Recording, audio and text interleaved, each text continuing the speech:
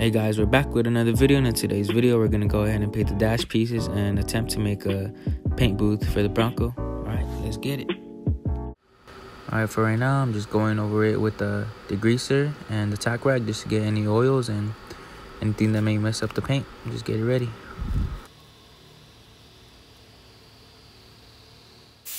Alright guys, so the boss man wanted to go ahead and paint the dash pieces, but went a little bit too heavy with the paint and we had a little bit of a problem.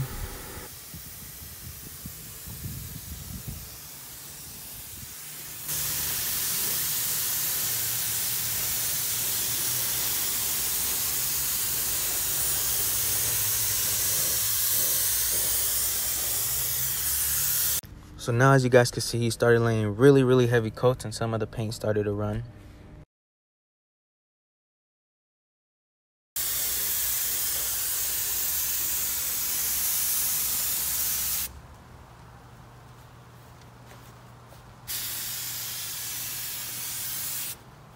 Watch out. That doesn't fill anyway. I don't know why I'm putting that. Next thing you got run. Too much? Yup. Yeah. Paint's not. Alright guys, so this is the best way he knew how to fix it. but um, with the little bit of time that we had, so we went ahead and painted it ourselves.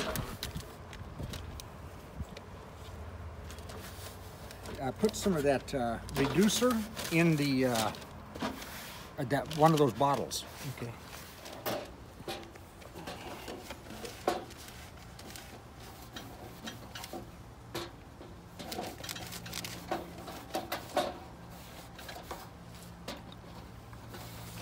What do you think it was they could have called? Yeah, yeah, I know. Didn't do no tack coating or nothing, just went for it, but we had to go ahead and fix it the best way we could. Alright guys, we already went ahead and did some coats on the dash pieces and got got it looking good now.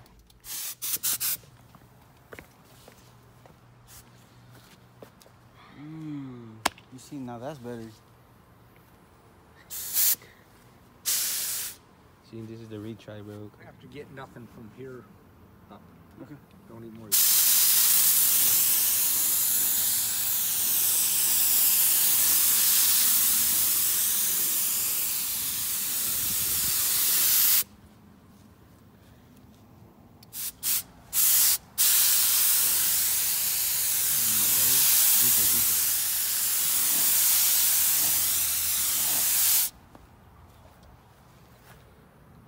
Next coat, and I think It don't look purple till you get it in the sun, man.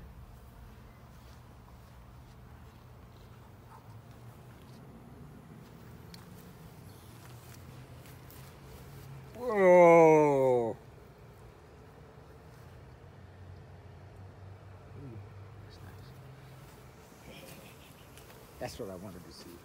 I needed to see something done.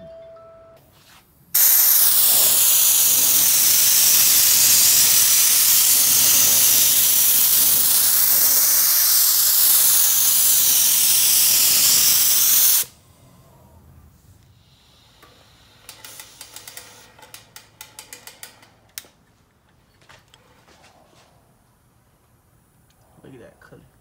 See how you can see it with the with the light? Yeah, watch how much dust you make in here.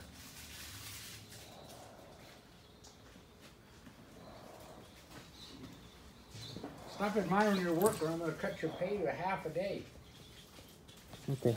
I put this together so we can see what it looked like, right?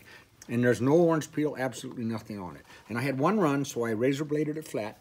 Then I took uh, a a uh, 3000 grit and I sanded it with 3000, the whole thing. Then I took 1500. Then I went to the rubbing compound, the polishing compound, and the swirl remover. And I used the whole system that I bought, and it worked absolutely perfect. Alright guys, so made the spray booth, but we're gonna change it up a little bit, move it over here with clear plastic. Yeah. Let's get it going.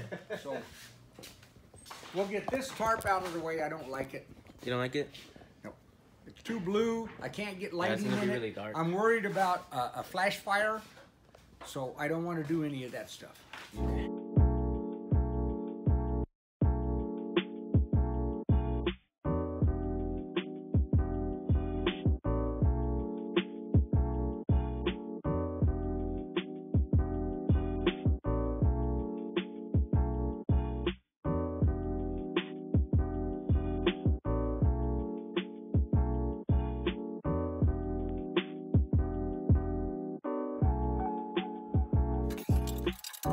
Alright, so right now we're just moving the lift so we can make our booth.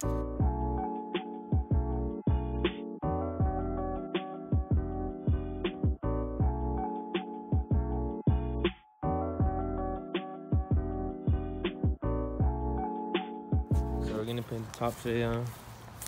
No, I'm just kind of grunt, grouchy today. I don't know why. This man.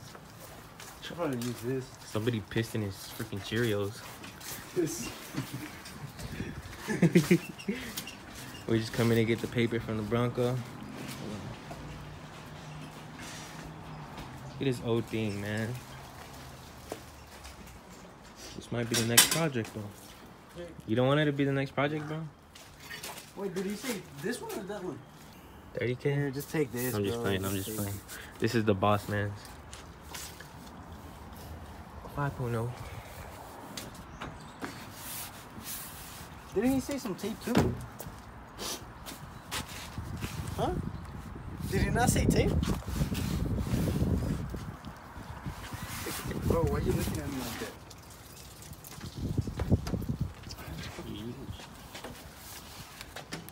Got it all. Boss is in there getting the next spray booth, or we're making our own. Other one was a foul. It was too dark. Like this guy over here.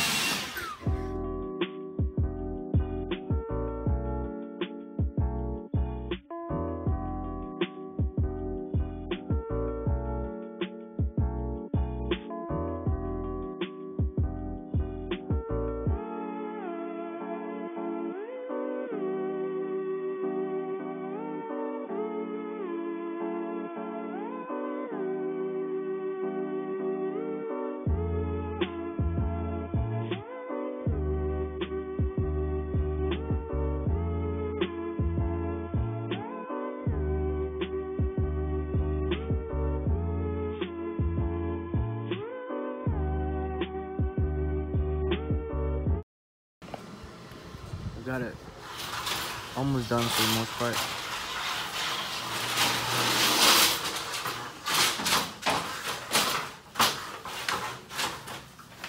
Alright, I'll go ahead and show you guys when it's done.